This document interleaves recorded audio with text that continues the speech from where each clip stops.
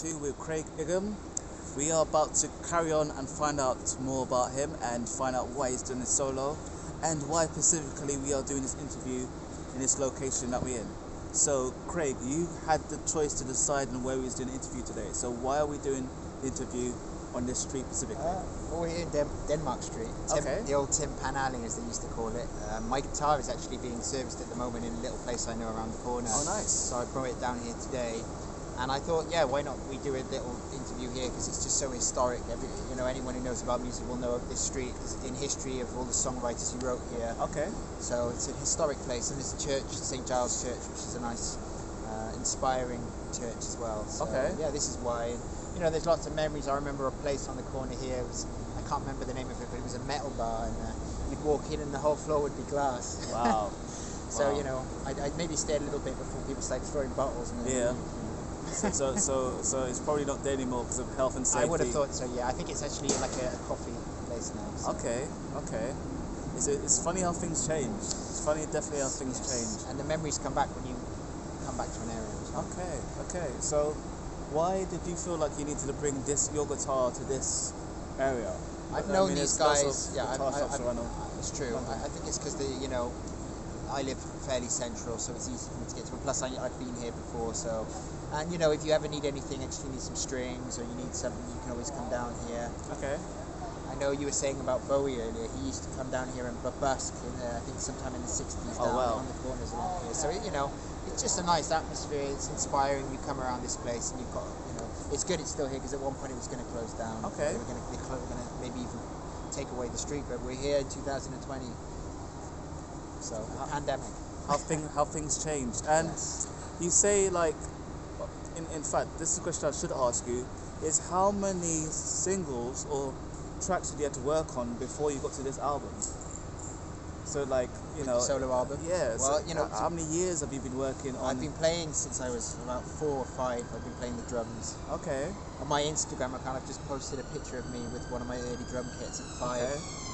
Uh, so it's just it's always been there really, you know. But recording, and, and, you know, guitar from 13, and then recording actual music and overdubbing, you know, since about 15, 14. I 14, just- I 15. started to compose more and, and you know layer on uh, different tracks and create my own music tracks. So, so, so really, what you're saying is that you've literally been only playing music for 15 years because you, you, do look 21. do you look 21? Well, you're too kind. Kind. know. Well, you know the thing is now, I, with when I have the mask on, I keep getting ID. Okay, You know, okay. and I'm saying to people, you know, obviously if I didn't have the mask, I'm sure you'd see I was a bit older. But Yeah. that's very kind of you. Well, it's, it's, it's, it's all right. I mean, you know, I- I'm sure there's a there's going to be a lot of uh, ladies and, and, and other maybe gentlemen out there that are, are like looking at him and saying, "Oh, he's, he's too young to to, to have you, a band You in the you look very young yourself. So, Well, so- thank you very much. It, it's it's it's the, the photo in the attic, they say. yeah, as your your, your at, uh, the photo in the attic gets older, while you stay younger. Okay, so all right. So um, you've said that. Well, you've not really said how long you've been make, working on an album. The album, it, it, going back from the very first demo of the album, it's a long. I the earliest demos I've recently been cataloguing all my old songs, and there's thousands of songs. Uh, but the earliest songs from this album I'm working on are from about 2013. Okay. So there was, I think, about 50% of the album is from about that time. But then there is stuff that was written a bit later. Okay. And one of the tracks in particular, I remember I lost. I left the project for a while and lost the original music to it. I Okay. had to rewrite the song from memory. Oh so wow. one of the tracks on there is a track called Elijah Main. That was had, I had to rewrite it. I had the lyrics, but I didn't have the chords, and uh, but it turned out pretty well. I'm, I'm pretty happy Okay. with the version that I, I, I rewrote of that. So would you say that this version is better than the, um, the original version, or would you say it's a it's it's it's a, be- a better hearing um, uh, solo um, track than the original? I would say it's difficult because I, I can't remember the, the original one that well. Obviously, I, if I, did, I would have used it. But Yeah. I think it's probably definitely equally as good, Okay. if not better. Okay.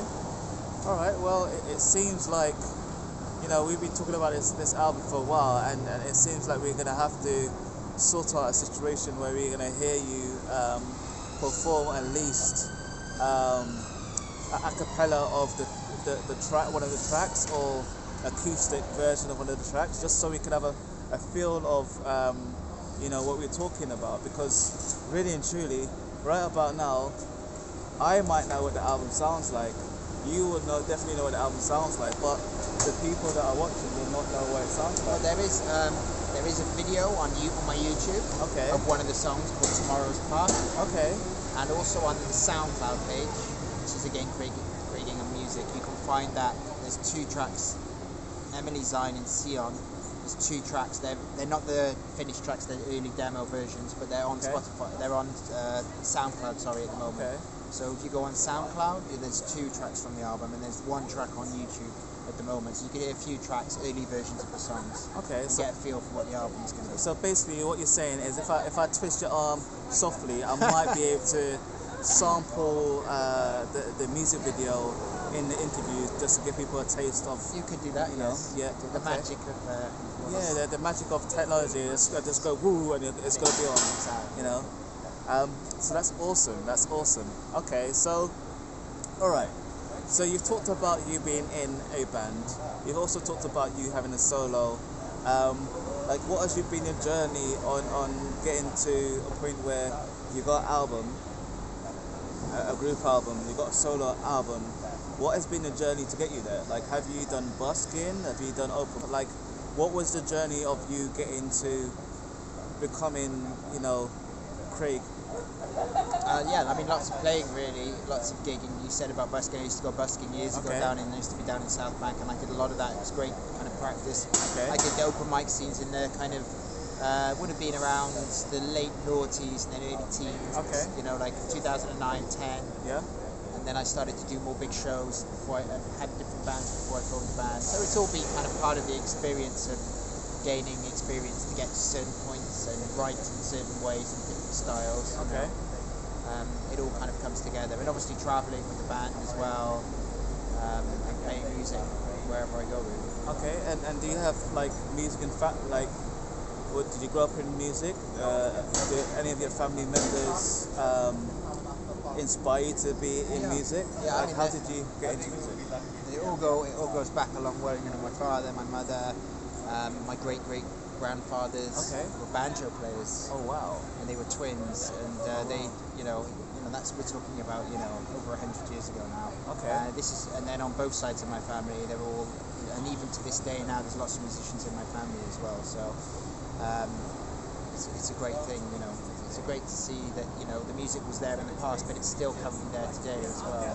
So, so it's in a way, it's like you carrying on a legacy, and, and you Yeah. and you know, it's, it's a good thing that you love what you're doing because you'd feel like you'd have to run with the baton. Like if you was doing a relay, you still have to keep it going until um, you exceed the the the, the um, success for you and your, your family Yeah. Of at least the achievements, not not aside of the money, but the, the achievements and how far you will take the family name.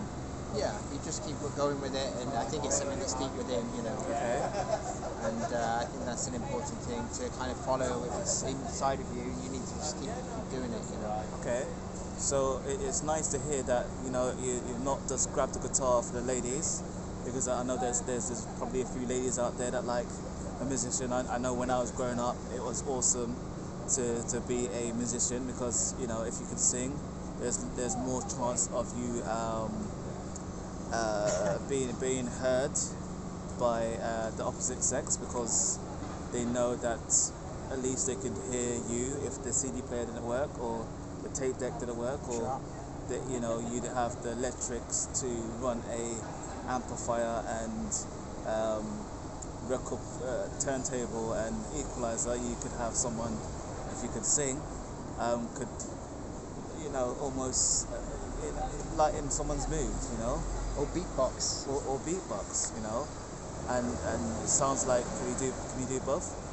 I can beat yeah, because when I was a kid, I used to have groups of chil- children around me asking me to play different songs from the charts. okay So the early memory I have being about you know nine or ten or eleven, okay and uh, all the kids want, wanted me to play. I used to start charging them and say, "Give me, give me, give me a pound, and I'll." okay It's like a jukebox, you know. entrepreneur at early Yeah. Before I was even really playing the guitar, I was writing by beatboxing. you know. okay was taking inspiration from you know lots of different places, but uh, it became a bit bigger. I think a bit later, and by that point I was playing more guitar. But I still I still sometimes do it, and I I, I, I write I can write that way as well. Okay, that's awesome.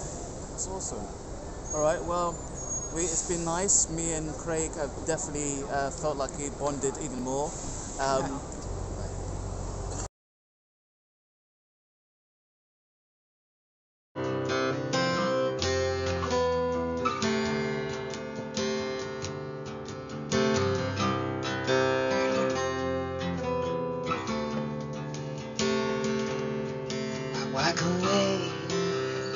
many have before. Stand aside, time's knocking at your door.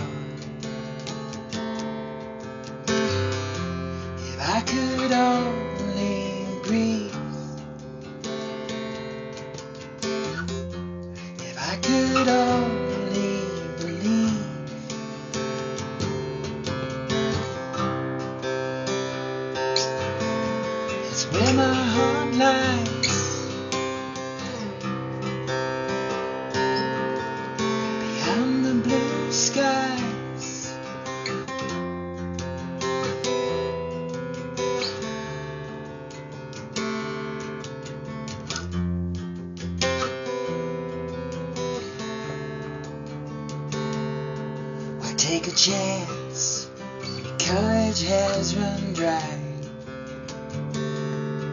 It's time to dance with nobody by your side.